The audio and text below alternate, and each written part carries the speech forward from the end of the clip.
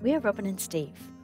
We just attempted to sail from Fiji to New Zealand, but ended up here in New Caledonia to dodge some weather. And in this building with a beautiful view, we completed our checkout of New Caledonia. But last episode, I did say I would explain why the land looks like this. It's a sad tale, so we'll gamify it. We'll call it Fact or Fish. If it all gets too much, just look at the fish. In the 1700s, more than 60,000 Kanaks were living in New Caledonia. But from later that century, things would change. The British brought disease, but that was just the beginning. Destruction came in many forms, from whaling to deforestation for sandalwood harvest, to blackbirding, taking people against their will for forced labour, and that was just the beginning. In 1853, the French flag was planted in New Caledonia, which paved the way for land theft on a new scale. Jails were big business, and New Caledonia was being used as a penitentiary. Yet more land was stolen for cattle farming and nickel mining. Protestant and Catholic missionaries came. Clashes between these faiths led to 15 Protestant chiefs being imprisoned and tortured. In 1946, the Kanaks were given French citizenship and later still were allowed to vote. I could go on.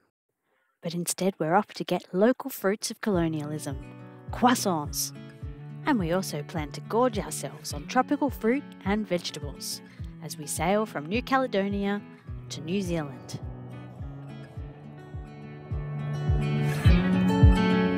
And we bid farewell to our friends from Amelie. Our passage was going to mostly be upwind, but with Cyclone Lola on the way, it was time to go. We tacked our way out of the pass on the 18th of October, expecting to be at sea about 10 days. Hopefully less. We were glad to have been at sea recently, as we were still pretty well adjusted to the bumpy life of upwind sailing.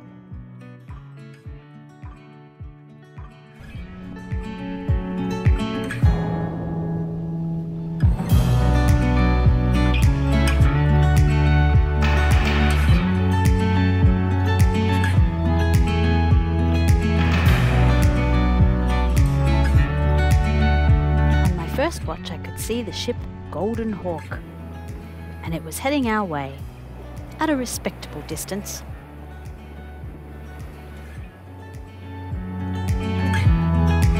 As expected, things did get pretty bumpy outside the pass.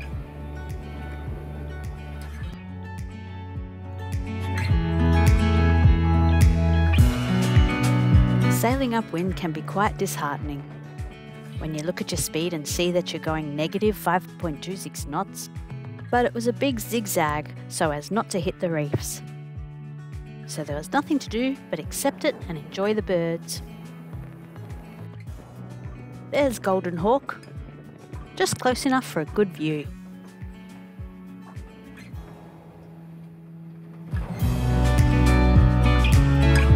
After a while, the days start to blur into each other.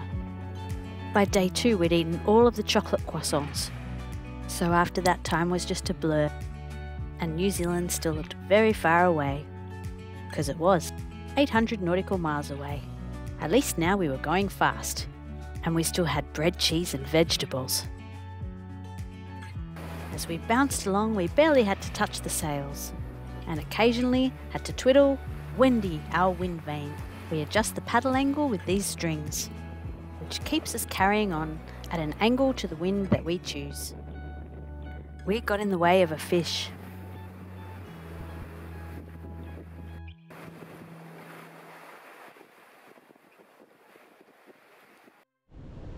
We'd become accustomed to life on an angle, one of the inconveniences of sailing upwind in a monohull.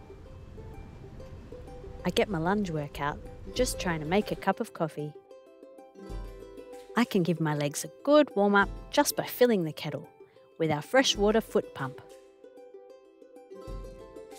And then the lunge workout begins, just to stop myself from falling over. Steve strung up a bit of shock cord along behind the sink to prevent things such as cups or bottles of milk from flying as we prepare our beverages. Even climbing in and out from the cockpit to the galley is a bit like rock climbing on a moving cliff. At least our gimbaled stove keeps the boiling water on the level. But all that challenge makes us really appreciate our hot beverages. Looking at the weather forecast can be emotionally testing. We expected to be going upwind for days and knew that we couldn't dilly dally. Ex tropical cyclone Lola was combining with another low and reforming, well, hopefully after our arrival. It's a great luxury to be able to have the technology these days to be able to check weather and communicate with family. Are any of you old enough to remember dial up? There's plenty of time to nap, to eat, between pressing send and emails actually sending. As our friend put it, it may be expensive, but it is slow.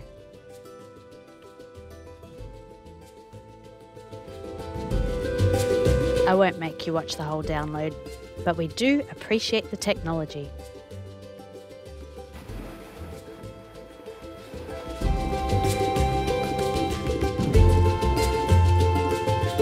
bounced along, and eventually our little dot looked a little bit closer to New Zealand. Still pretty far. Unless something went wrong, we would beat ex tropical cyclone Lola. This was our second and last tragedy of the journey. At least it shows there are still some fish out there. Here's its reverent send off. We were pacing ourselves beautifully with our vegetable rations. We were going upwind in some fairly fierce winds, so here Steve is reefing the main.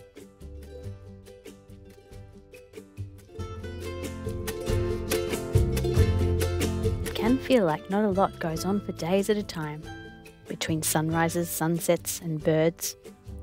But we were slowly moving along and being sent a little east of where we'd like to go. But because of the weather forecast, we expected this. There's another boat out there. So great was the novelty of seeing another boat that we struck up a conversation.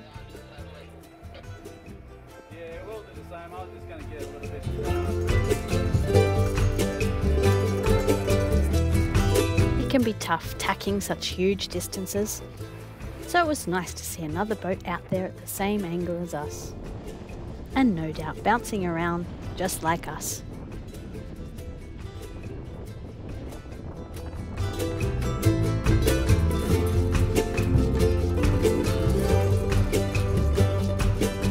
Steve rests, I like to keep myself busy, in this case making curried egg. It's weird to throw eggshell overboard, knowing that the seas are kilometres deep.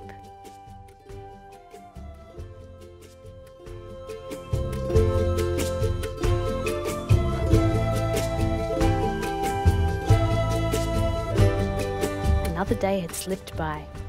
Soon we'd be able to tack, and then eventually the wind would creep behind us.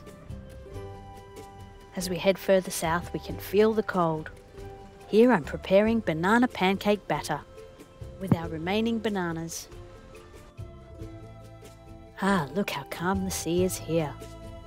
A chance to stretch out my long suffering spine with the help of my trusty bit of cloth and two prusik loops.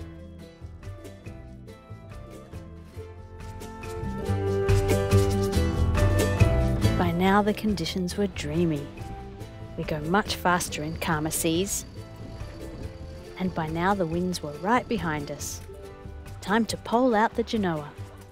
We're relieved to have two people on board for this job. It's kind of fiddly, but once set, it's very rewarding.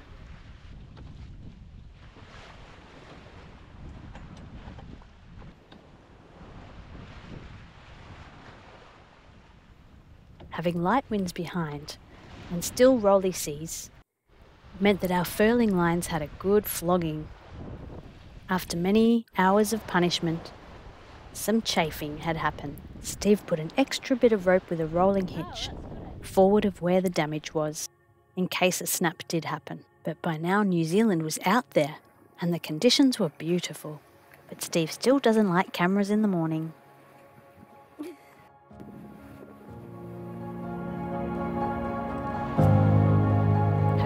Couple of days later, it wouldn't have looked like this.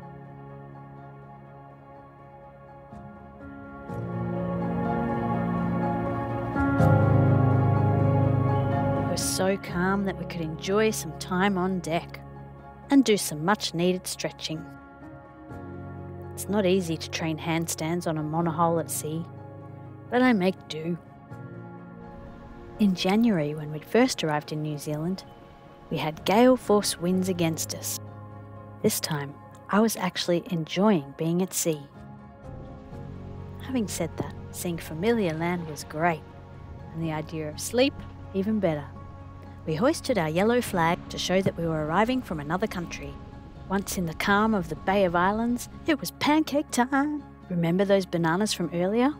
I was so ready for our welcome to new country pancakes. A tradition we've upheld five times this year already. And soon familiar landmarks rolled into sight. Kia ora, Aotearoa. We'd radioed in the quarantine dock was busy, we were told. Oh dear, docking in fast currents amongst expensive boats is not my favourite thing. But still, it's much less stressful to check into a country you've checked into before. What was even better was that we were ahead of Cyclone Lola. Here Steve's putting the fenders on to prepare for docking. And here's that boat we saw days ago at sea, overtaking us. It was nice to be back in the Bay of Islands with its many ferries and its many options for shelter. And our docking was inelegant but not disastrous. And when we were inelegant, we learned. And within a few hours, we were checked in and we were introduced to a celebrity dog. We were told that this dog has appeared on several TV shows and is quite famous.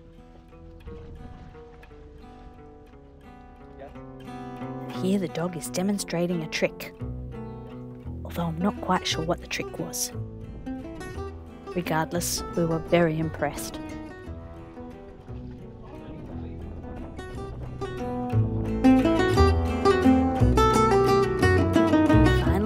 Could leave the quarantine dock, anchor, and sleep.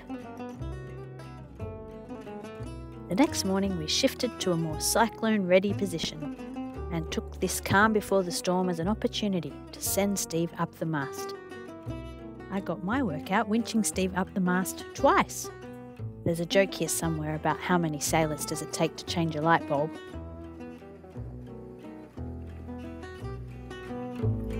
This is definitely a pre cyclone job.